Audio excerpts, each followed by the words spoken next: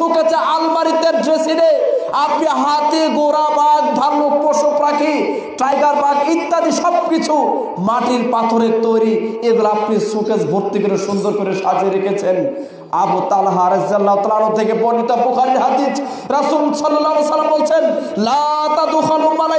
বাইতান ওই ঘরে কোনো দিন রহমতের ফেরেশতা প্রবেশ করবে না। যে ঘরে কুকুর থাকে এবং ছবি মূর্তি থাকে ওই ঘরে রহমতের ফেরেশতা কিয়ামত পর্যন্ত প্রবেশ করবে না। তাহলে আপনার ঘরে কীভাবে নামাজ আদি করলে নামাজ হবে? কোরআন তেলাওয়াত করছেন কীভাবে হবে? এই ছবিগুলো ভাঙতে হবে এই ছবিগুলো ধ্বংস করতে হবে এই ছবির মুখে লাত্তি মারতে হবে। কে কে প্রস্তুত আছে? হাত তুলে দেখা ইনশাল্লাহ আমরা ছবি মূর্তির বিরুদ্ধে না পক্ষে বিরুদ্ধে থাকবেন ইনশাল্লাহ বলেন।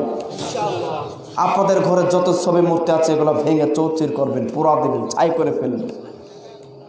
কাবা ঘরে তিনশো ষাটটা মূর্তি মোহাম্মদ সাল্লাম কি আদর করে রেখে দিয়েছিলেন না ভাঙছিলেন? বলেন তো। ভাঙছিলেন। হাদিস। শুনুন পাথরের কোনো ক্ষমতা আছে? জুড়ে বলো পাথরের ক্ষমতা আছে? মূর্তির কোনো ক্ষমতা আছে? তাআলা উমরার সফরে গিয়ে হাজর আসদ পাথরকে লক্ষ্য করে বলছো হাজর আসদ শুনো। তুমি হচ্ছে মাত্র একটা সামান্য পাথর। ওয়ালা তানফাউ, ওয়ালা ইয়াজরু। তুমি আমার কোনো ক্ষতিও করতে পারবে না। তুমি আমার কোনো উপকারও করতে পারবে না। আমি উমর তোমাকে কেন চুম্বন করব? আমি উমর কেন তোমাকে চুম্বন খাচ্ছি? আমি তোমাকে কেন চুম্বন দিব? আমার নবী মোহাম্মদ সাল্লাল্লাহু সাল্লাম তোমাকে চুমা খেতে তোমাকে চুম্বন করতে দেখেছি, অতএব আমি উমর তোমাকে চুম্বন করছি। আমার নবী মোহাম্মদ সাল্লাহ সাল্লাম যদি তোমাকে চুম্বন করতে আমি উমর না দেখতাম, তাহলে জিন্দিগি তো কোনোদিন তোমাকে চুম্বন করতাম না। সোহান বুখারির হাদিস। রাসুলের আনুগত্য অনুসরণ দেখেন। অথচ আপনি ছবিগুলো এত সম্মান করেন, ঘরে ঝুলিয়ে রাখছেন। রাসুল্লাহ সাল্লাহ সাল্লামের স্ত্রী আয়েশা পর্দা ঘরের দরজার সামনে ঝুলে রাখছেন মোহাম্মদ সাল্লাম দরজায় দাঁড়িয়ে আছেন। রাগে, এত রাগে লাল হয়ে গেছেন, পয়ের হয়ে আছেন। এত রাগ করেছেন আয়েশা যে আল্লাহ নবী, তাড়াতাড়ি পর্দাটাকে আমার ঘর থেকে সরাও। দেখো না ছবি, উটের ছবি দেখা যাচ্ছে, তাড়াতাড়ি সরাও। তখন পর্দাটাকে দ্রুত সরালেন। সেটা কেটে বালিশের কভার বানিয়ে দিচ্ছেন উল্টা করে। যাতে ছবিটা ঢাকা হয়ে যায়। কথা বুঝতে পারছেন? রাসুল্লাহ সাল্লাহ সাল্লামের এই ঘরে পর্দা থাকার কারণে মোহাম্মদ সাল্লাহ সাল্লাম ঘরে ঢুকে নেই। সোহান আল্লাহ বলেন। আর সেই ঘরে ফেরেস্তা ঢুকবে, আপনি কীভাবে বলেন কীভাবে বিশ্বাস করেন? সম্মানিত উপস্থিতি, আমাদের ঘরে ছবি মূর্তি যেন না থাকে, থাকবে? থাকবে? রাখতে পারবেন না। রাখা যাবে না। বাচ্চাদের ছবি, নায়ক, নায়িকাদের ছবি নিজেদের ছবি রাখতে পারবেন না। প্রয়োজনে পাসপোর্ট, সাইজের ইত্যাদির ছবি এগুলো আড়ালে রাখবেন। প্রয়োজনে জমিনের হজের পরীক্ষার, চাকরি বাকরি ব্যবসা বাণিজ্য বিভিন্ন জায়গায়। এখন তো আর আগের দিন নাই। এখন তো সব দুই নাম্বারই মানুষ করে এই জন্য এগুলা প্রমাণের জন্য এগুলা করে। তখন যায় হবে। কিন্তু ঝুলে রাখা যাবে। ঝুলে রাখা যাবে? জি না। সম্মানিত উপস্থিতি রাসুল্লাহ সাল্লাহ সাল্লামের তৃতীয় ভয় তার জীবনে। কবাইলুমিন উম্মাতি বিল মুশরিকিন। রাসূলের জীবনের তৃতীয় নাম্বার ভয় হচ্ছে। তিন নাম্বার ভয় হচ্ছে আমার উম্মত মুর্শিকদের সঙ্গে, হিন্দুদের সঙ্গে মিশে যাবে, মিলে যাবে। এটা হচ্ছে আমার জীবনের সবচেয়ে বড় ভয়। কথা বলে ঠিক কিনা? দুর্গা পূজা দশমায় বিজম বিজয় দশমার দিন। হিন্দুদের দুর্গা পূজা ডুবানোর দিন। তিনের দুই ভাগ বলেন তো, ডুবানোর দিন মুসলমান সংখ্যা বেশি না কম? কথা বলেন? বেশি। ওই দুর্গা পূজা ডুবাবে কে বলেন? তারা নেয় আমরা। তারা ডুবাবে না? দেখবেন তিনের দুই ভাগ মুসলমান তারা গিয়েছেন। রাসুলের কথার সঙ্গে আজকের বক্তব্যের কোনো মিল আছে কিনা বলেন? আছে না? সাড়ে চোদ্দশো বছর আগে বলে গিয়েছেন যে কবাইল মিন উম্মাতি বিল মুশরিকিন। আমার উম্মত মুর্শিদদের সঙ্গে মিশে যাবে, হিন্দুদের সঙ্গে মিশে যাবে। আগে হিন্দুদের বিয়ের অনুষ্ঠানে গান বাজনা হতো ড্যান্স হতো, নৃত্য হতো, নাচ হতো, বক্স ছেটে এসে গান করতো। ওদের বিয়ের অনুষ্ঠানে আজকে সেটা বিপরীত, ঠিক কেনা বলো আজকে মুসলমানদের বিয়েতে গান বাজনা না না হলে, বক্স সেট না আনলে নাকি বিয়ে শুদ্ধ হয় না। এরপর জঘন্য আর কাজ করছেন হিজরাদেরকে নিয়ে আসছেন, হিজরাদেরকে সারা রাত নাচা, ঠিক কিনা?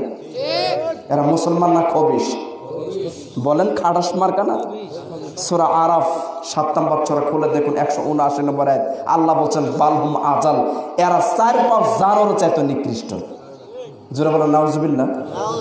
মানুষকে আল্লাহ ভালো বলছেন, আবার যদি কেউ উল্টো কাজ করে, তাহলে আল্লাহ তাকে বলছেন কি, পশুর চাইতো খারাপ। তাও চার পাও কুকুর, বানর, কি বলে? এ কথা কে বলছে বলেন? আল্লাহ বলছেন। আজকে আমরা এই পাপটার সঙ্গে বেশি জড়িত।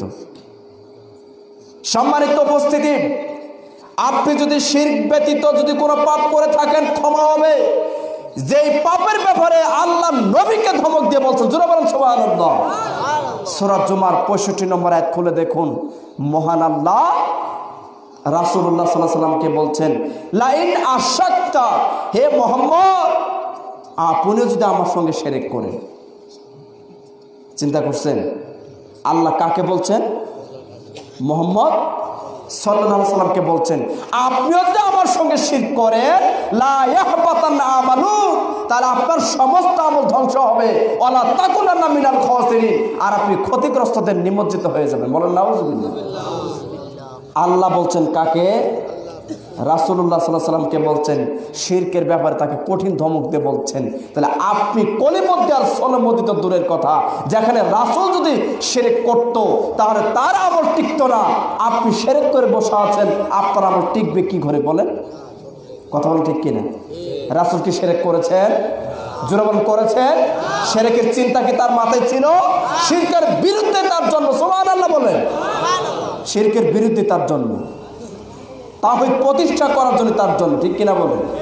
সমাজ থেকে শির, সমাজ থেকে দুর্নীতি, সমাজ থেকে সুদ, ঘুষ, এগুলো তাড়ানোর জন্য মোহাম্মদ সাল্লামকে পাঠিয়েছে, ঠিক কিনা বলেন? আজকে আমরা সেই পাপের সঙ্গে বেশি জড়িত, সম্মানিত উপস্থিতি, আনাস রাজ্লাহ বলেন, তিরমিজির হাদিস রাসুল্লাহ আপনারা আমাকে সুসংবাদ দিয়েছেন। মোহান আল্লাহ বলছেন, ইয়া বনি আদম, হে বনি আদম সন্তানগণ তোমরা অপরাধ করেছ, আমার কাছে ক্ষমা চাও, আমি তোমাদেরকে ক্ষমা করে দিব। তোমরা আমার কাছে মাফ চাও, আমি তোমাদেরকে মাফ করে দিব। তোমাদেরকে মাফ করতে আমি আল্লাহ তারা কারও পরোয়া করে না, বরং সুমাহান আল্লাহ আমি তোমাকে ক্ষমা করব এটা আমার পরোয়া কিসের? এটা আবার পরোয়া করব কেন? এরপরে রাসুল্লাহ সাল্লাহ সাল্লাম বলছেন, আল্লাহ তারপর বলছেন, ও আদম সন্তান গো তোমরা যদি আসমান জমিন পরিমাণ ভর্তি পাপ, নিয়ে যদি আমার সামনে দাঁড়াও, সারা পৃথিবী ভর্তি পাপ, নিয়ে যদি আমার সামনে দাঁড়াও, আর এই সমস্ত পাপের ভিতরে যদি শিল্পের কোনো পাপ না থাকে শিল্পের যদি গুণা না থাকে, আমি আল্লাহ ওই পরিমাণ পর্যন্ত রহমত, আসমান জমিন ভর্তি পরিমাণ রহমত, দয়া নিয়ে, ক্ষমা নিয়ে বান্দা তোমার সামনে দাঁড়িয়ে যাও, তোমার সব পাপ মাফ করে দিলে। জোরে বলতে হবে সুবহান এটা তিরমিজি শরীফের হাদিস। তাহলে শর্ত হচ্ছে, পৃথিবীর সব পাপ মাপ হবে, কিন্তু শিল্পের পাপ কোনোদিন মাপ হবে না। এই হাদিস বোঝা গেল শিল্পের পাপ ছাড়া আল্লাহ তালা সমস্ত পাপ আল্লাহ আপনাকে মাফ করে দিবেন। রাসুল্লাহ সাল্লাহ সাল্লাম বলছে যে ওয়াদারে রব্বি, আমার প্রতিপালক আমার সঙ্গে ওয়াদা করেছেন। আমার প্রতিপালক আমার সঙ্গে ওয়াদা করেছেন। আমার আল্লাহ আমার সঙ্গে ওয়াদা করেছেন। ওয়াদা করেছেন কি? আমার উন্মতের সত্তর হাজার মানুষকে বিনা হিসেবে জান্নাত দান করবে। এরপর রাসুল বলছেন, প্রতি হাজারের সঙ্গে আরও সত্তর হাজার করে মানুষ। বলেন না সোহান হিসাবটা মনোযোগ দিয়ে শোনেন, ঘুমায় না, আমার দিক তাকান। বলেন তো, কত হাজার মানুষকে বিয়ে গয়রে হিসাব শব্দ আল্লাহ নবী উল্লেখ করেছেন। তাদের কোনো হিসাব হবে না, লা আজাব তাদের কোনো আজাব হবে না, লা হিসাব তাদের কোনো হিসাব হবে না। বিনা হিসেবে তাদেরকে জান্নাত দেবেন। সত্তর হাজার। রাসুল বলছে, প্রতি হাজারের সঙ্গে আরও সত্তর হাজার। চার কোটি নব্বই লক্ষ মানুষকে আল্লাহ তালা বিনা হিসেবে জান্নাত দান করবে, বলুন সুবাহান আল্লাহ চার কোটি নব্বই লক্ষ মানুষকে আল্লাহ তালা বিনা হিসেবে জান্নাত দান করবেন।